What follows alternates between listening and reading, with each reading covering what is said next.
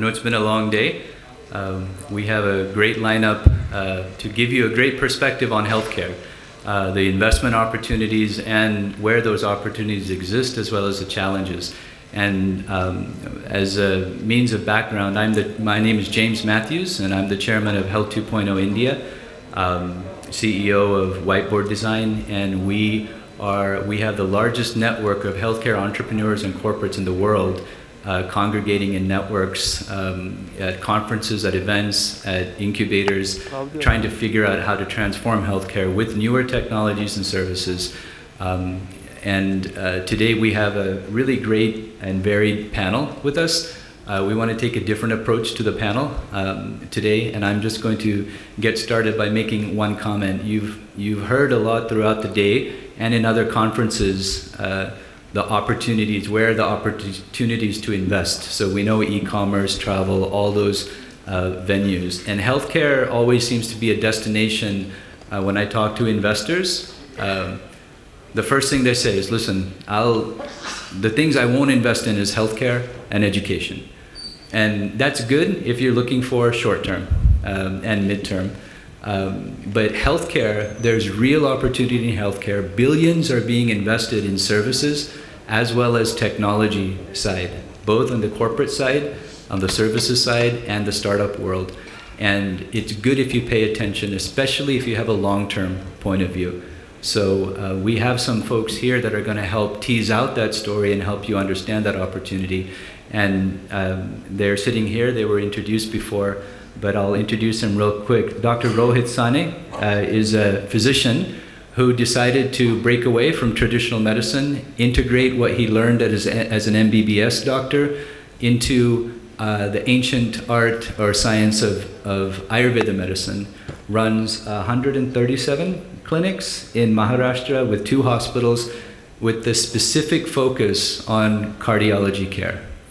Um, uh, uh, KC, uh, K. Chandrasekhar is a, founder and CEO of Forus Health.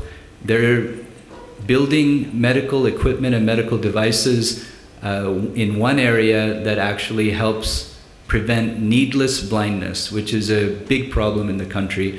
And they have other uh, product lines as well. And the unique factor about their uh, product line is they're trying to put devices in the hands of people who normally aren't in charge of the, of the patient's care, non-physicians, uh, which is making a huge difference. Dr. Ramesh Babu is the founder of uh, Medwin Hospitals, and now he is a venture capitalist with Ventureast.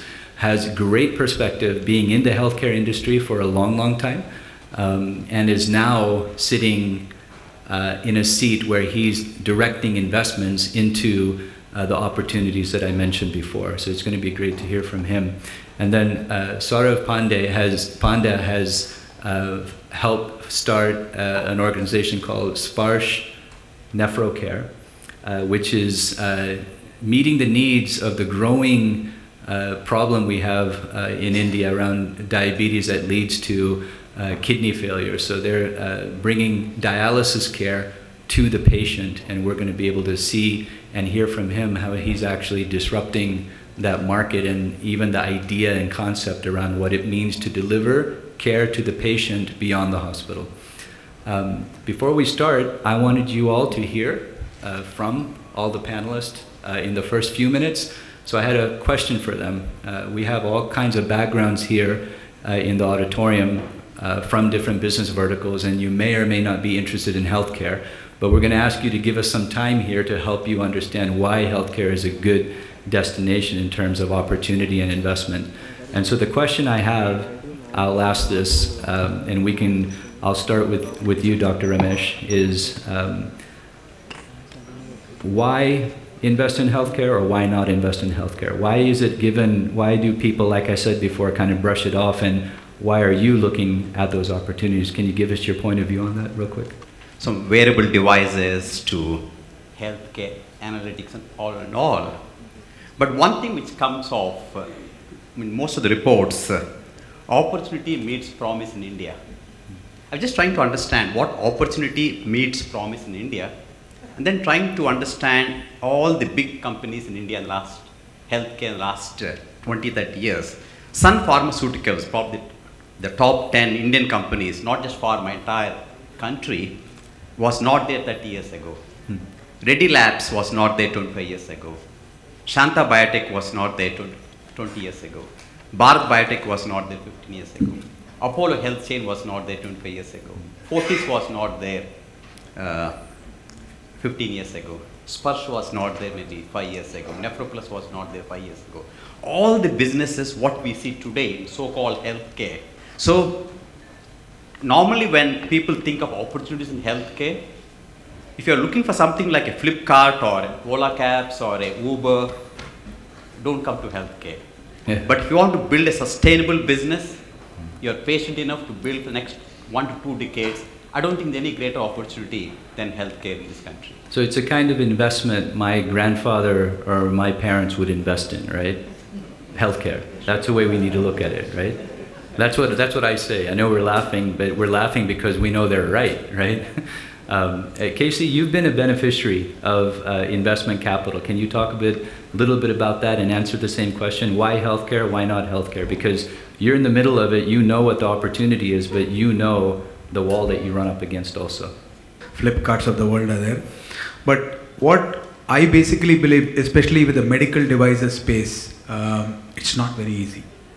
Uh, if you are actually doing services um, or doing services predominantly now home care is becoming more and more popular. A uh, lot of focus is there because people see uh, you know billion people those numbers which is again attached to Flipkarts or anybody of the world. So there are opportunity if you are providing services. The limitation for that is uh, you know there you need technicians you need uh, paramedics you need so skilled manpower becomes a bottleneck so there would be only five, six, eight organizations who will scale. So they'll they'll basically get funded. But medical devices, fortunately, uh, I'm not taking the wearable ones, but the traditional medical devices, they probably you know uh, were not very popular at least for the last 10 years. It was not the darling of uh, so typically in investment cycle there is a flavor of the month or flavor of the right. season. Uh, medical devices is not the flavor of the season uh, traditionally. But uh, very recently, I was there in San Francisco, and there seems to be a mood which is slowly coming in favor of medical devices. But then, for it to come to India and you know start working, probably will take some more time. So that's that's pretty, and it's very difficult, especially in the med devices space. Not very easy to uh, get investment. Hmm. And somebody who is trying to fuse uh, modern with ancient, Dr. Rohit, go take a stab at answering that question. Why healthcare and uh, why not? According to me, uh, healthcare is always a good uh, option to invest in. There is a good amount of resistance from uh, n number of uh, stakeholders. Uh, it becomes a difficult uh, decision for the investor to uh, be inside. But yes, as what uh, Ramesh Babu said, ki yes, if at all we are looking for a long term type of investment, a decade or two, 101% it's a great place to invest in. Yeah. That's my lookout. And uh, of, um, it's a terrible thing that's happening in India the rise of diabetes and these diseases that are affecting renal systems and lead to more and more uh, significant rise in people needing dialysis. Um, but it, it simultaneously provides a great opportunity, a business opportunity, as well as opportunity to provide care where it didn't exist before. Um, what's, how would you, how, how do you answer the question, healthcare or not healthcare? You know, alluding to what you just said, uh, I was talking to one of my friends who works in a VC fund, and he was saying he was writing a report on Indian healthcare sector, and he says that uh, people eat bad, bad eating habits, high blood pressure, a lot of diabetes, and there was a whole section on that, and it ended with India is great for healthcare. So, as you said, it's terrible that this is increasing, but from uh, you know, when you look at uh, at it from an entrepreneur's perspective, it's an opportunity alluding to what KC just mentioned a little bit uh, earlier, that uh, services is one sector where he feels devices is not the flavor of the season, but services is. But the problems are, as he rightly pointed out, uh, uh semi-skilled labor is uh, finding semi-skilled labor in India is very tough. Mm-hmm. But the thing is, where there is a problem, only then you have an opportunity to solve it. If there's no problem, you're not solving it. And uh, from my perspective, I feel the one number that we all should look at when investing in healthcare in India, if the question comes up is, uh, we have a population of 130 crores. I think that's the number you look at. The more the number of people, the more chances are that there are problems that you have to solve. And that's why, as an entrepreneur, you get uh, actually a lot of opportunities to solve a lot of problems. And hence, it's a great sector to invest in. Uh, probably except Apollo, Chennai, there's no corporate hospital in the country. And Hyderabad, Apollo came and Medwin came, 87, 88. I think at that time, uh, probably the biggest hospital in the private sector in Andhra Pradesh must be a 30 bed hospital. So we came up with the 200 bed hospital, Apollo came up with the 300 bed hospital. What I've seen in the last 20 years, the journey of healthcare delivery, it started 20, 30 years, all multi speciality chains, 200 bed, 300 bed hospitals. Later, maybe 15 years ago, started the single specialty hospitals, heart centers, ophthalmology chains, dental chains. Uh, people felt uh, it's far more easy to manage those single specialty hospitals. Uh, entrepreneurs felt that and investors also pumped in money into single specialty. No more you'll see that kind of large money going into the multi-specialty hospitals. The last five to seven years, people are, you see a lot of trends going into niche play, maybe dialysis centers, or maybe primary healthcare centers, or even home healthcare centers, very specialized areas which were not there. Because after having conquered all the major things, uh, a multi-specialty, I think those small niche areas in healthcare delivery services or the Ayurvedic center, these are the ones uh, which are seeing traction uh, of late. So from a multi-specialty hospital to a single specialty hospital to niche service providers, I see more traction both from the investment side as well as opportunity side. Uh, coming for one more data point regarding what can be the opportunity, uh, which partly reflects on the kidney.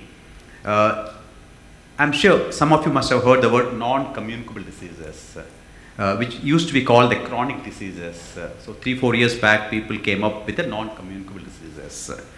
And uh, as doctors, 1975 when I started my medicine, or even as late as 87 when we started cardiology training, at that time, we felt cardiovascular diseases are rare in India. It's a disease of the Western population because they eat oily food, they eat beef. We used to think they get the cardiac problem. In the last 20 years, 20 years is such a short period of time, our entire thinking process has changed. The chronic diseases, which comprise cardiovascular diseases, cancers, chronic lung problems, and diabetes, four of them put together, they constitute the NCDs. The prevalence in India is twice the prevalence in Western population. If the cardiovascular disease prevalence is 4% in the United States or United Kingdom or Germany, in India it's 10%. If you take all the non-communicable diseases together, it's probably 10% in the Western population and is 20% in Indian population.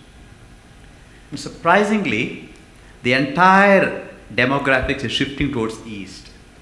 Uh, the Arab countries in Eastern Europe, Asia Pacific, and Russia. The entire same story. So as the economy is progressing, probably whatever reasons, we eat more, we exercise less, and I think we see a demographic shift in the prevalence. So that single factor tells that's a great opportunity, whether it's for healthcare services, whether for medical devices, whether for pharmaceutical products, I think uh, we need uh, whatever we need. We, I think we need more pharmaceutical companies, biotech companies, hospitals. Uh, I think just India is a promise. Uh, but one key, execution is the key. You can screw it up. If you don't do it well, you'll screw it up. We have uh, three funds. We have a late stage fund, we're proactive, which nothing to do with healthcare. Uh, we have a dedicated life sciences fund, which do one to five million dollars and where I am part is very early stage fund called the Ventureast Tenet Fund. And that fund is over. We are raising a new fund called Endiya Fund, E-N-D-I-Y-A. And it will be focused on technology. My partner will be looking after. I'll be looking at the healthcare.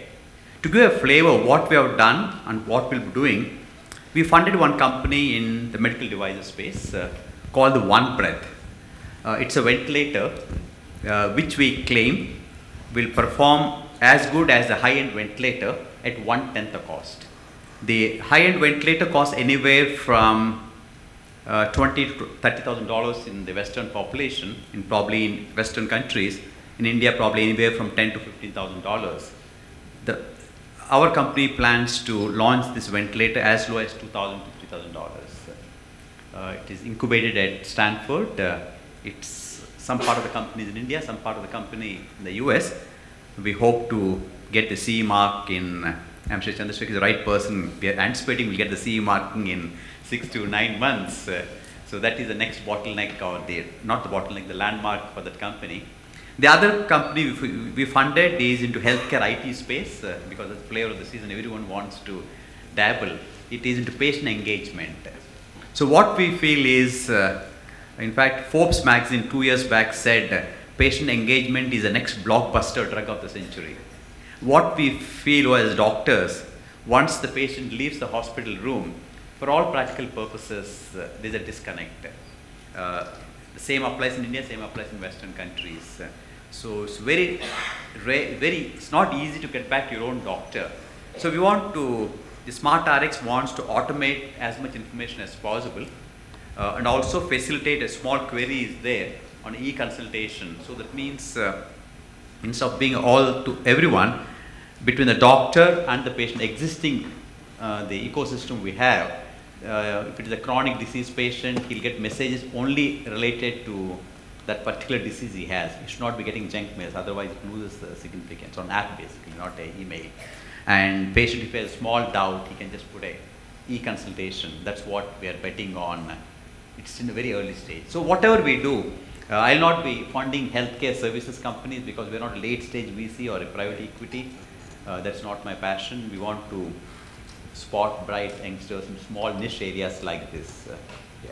Right, well, and in fact, the ventilator business itself, uh, United States government, uh, there's a tender, not a tender, there's a request uh, proposal. The US uh, government needs 400,000, uh, 400, 4 lakh ventilators, 400k ventilators for emergency stockpiling. The specifications they mentioned, the size, the compactness, ability to store, which can work on without on a battery, which can work on ambient air, not needing uh, compressed air, the existing $20,000, $30,000 cannot perform. So this company was born out of a need that a low cost but fully functional ventilator and if we succeed, the US government itself needs thousands and thousands of ventilators. Well, I, I, want to move on to the entrepreneurs in the room, but I want you to think about a question that I want to answer, you to answer towards the end of the panel which is we've got people in the room, um, investors, we've got MBA students.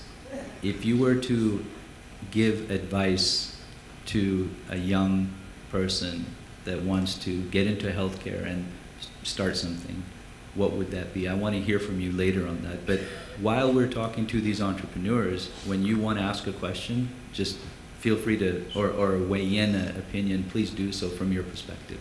Okay?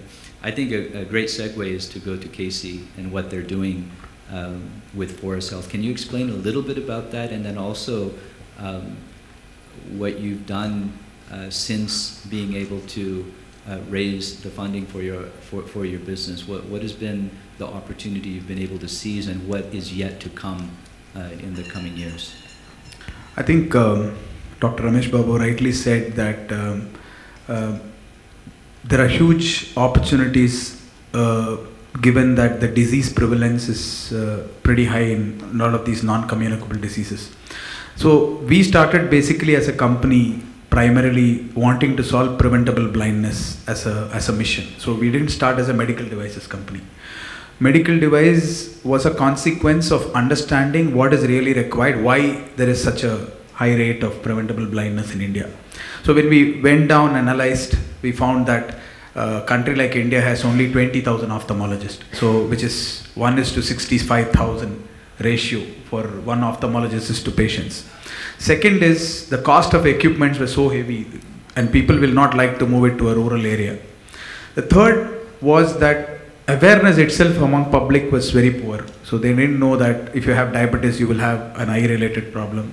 So they thought it's fact of life and you know. So that's when we analyzed and came with a device. And then, since the focus was preventable blindness, a device which can image uh, somebody from the community. So that was very important because we also wanted to integrate whatever we are doing with the behavior of the people. For example, if you just screen a person, let's say I come all the way from Delhi and screen somebody in remote Andhra Pradesh and tell him you have a problem, he or she is not going to take it seriously because I don't belong to that community. Whereas if I would have been from the same community, the chances of taking me seriously and going and getting themselves treated is very high. So the, the focus is on getting themselves treated rather than diagnosing. So we wanted to make the equipment very simple that somebody from the community can be trained to actually do it.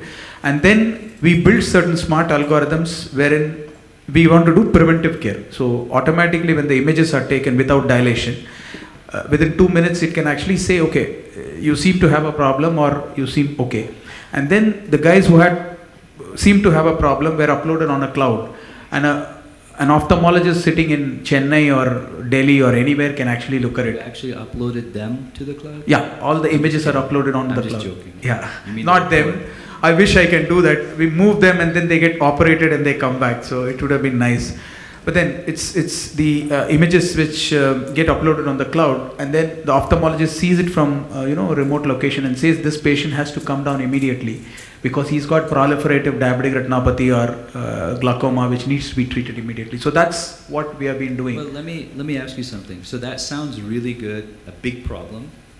See, I think, um, uh, see, what we did was one, we started with a mission and with a passion to do a social enterprise, right? But then when we came to business, we were also very clear that we will actually work on three brand pillars, right?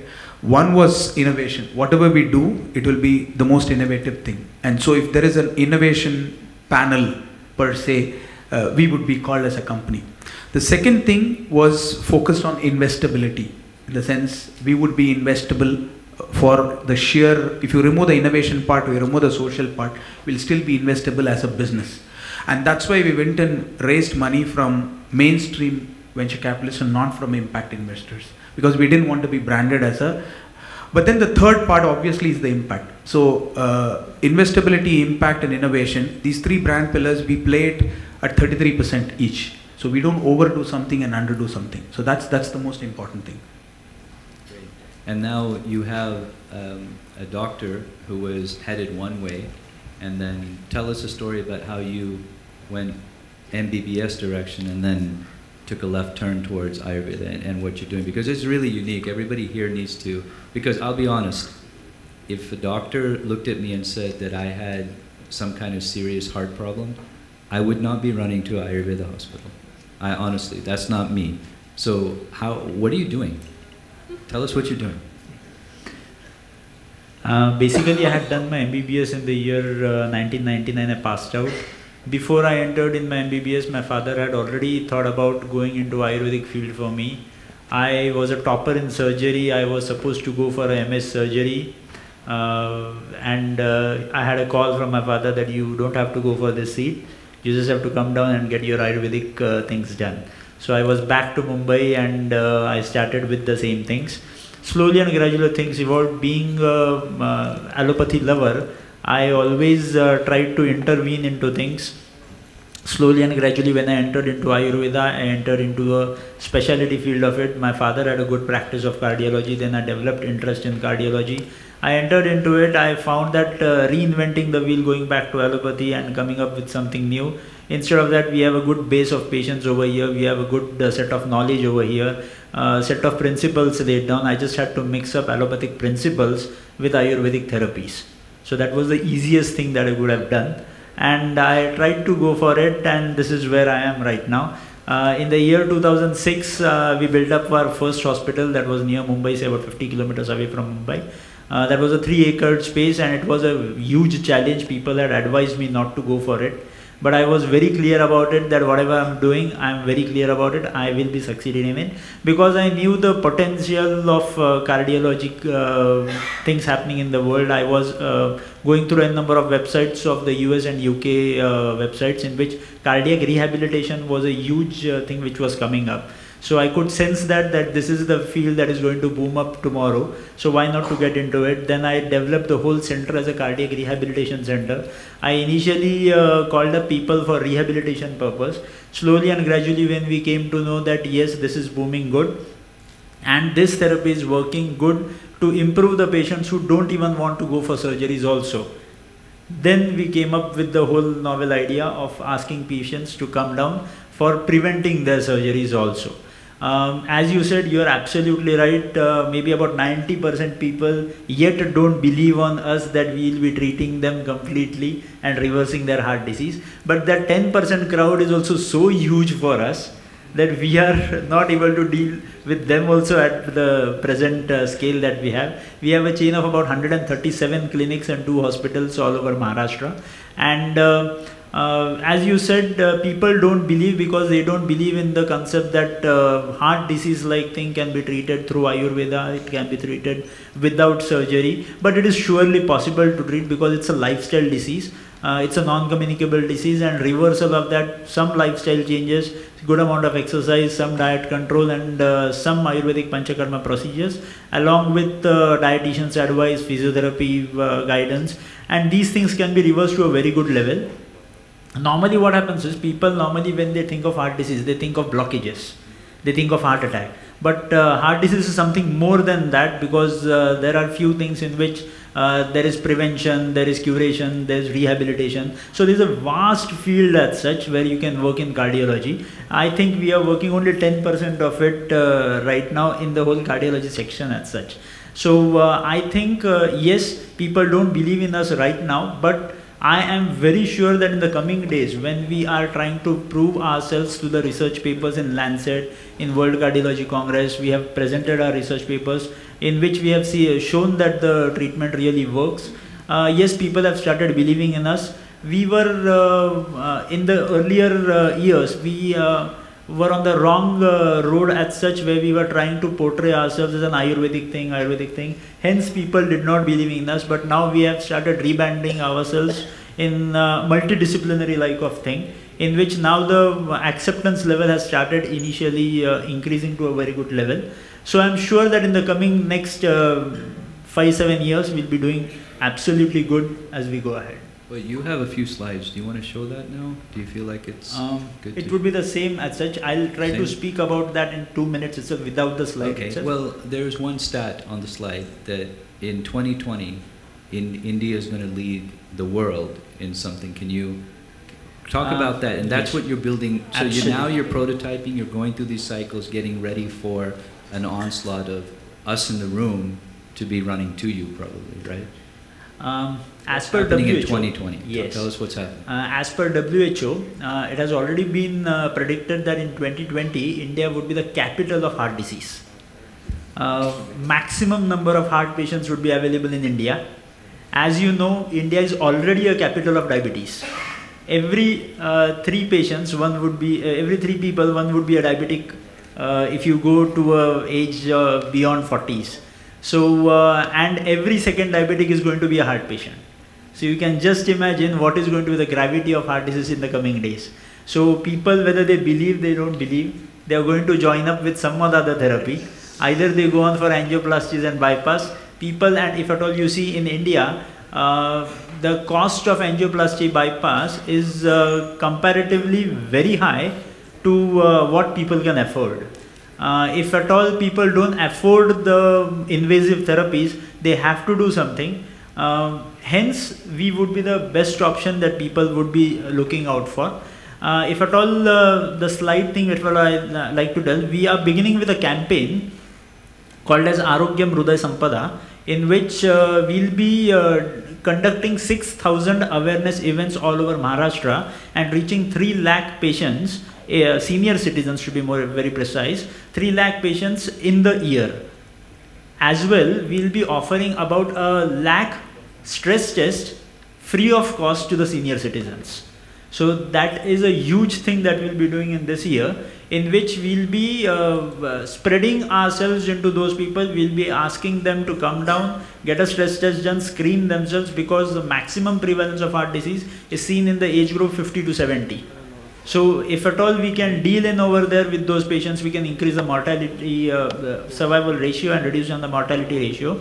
A small research that we had done in our uh, uh, setup of 137 clinics and two hospitals, the data was saying something like that, that if at all angioplasty and bypass have a survival ratio of about say 73-74%, we do have an equivalent survival ratio about say 80%. Now we are taking a challenge of increasing the survival ratio to about 90%.